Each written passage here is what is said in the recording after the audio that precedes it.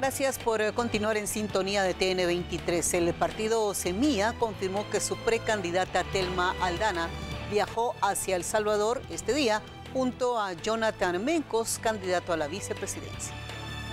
En el día que el juzgado décimo declaró en reserva la denuncia penal contra Telma Aldana, el jefe de campaña de Semilla, Rodman Pérez, confirmó que en horas de la mañana de este lunes la exfiscal salió con rumbo a El Salvador.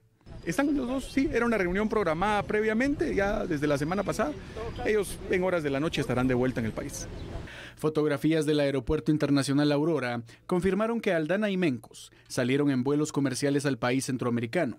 El día en que el MP llevaba a cabo una audiencia ante el juez Víctor Cruz, ante quien pedía diligencias para investigar a la exfiscal por la presunta contratación irregular del decano de Derecho de la USAC, Gustavo Bonilla.